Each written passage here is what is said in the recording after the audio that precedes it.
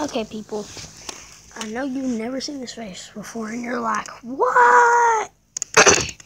but listen, if you check out the Paula Lop channel, we're going to be doing vlogs, reacting videos, and pranks.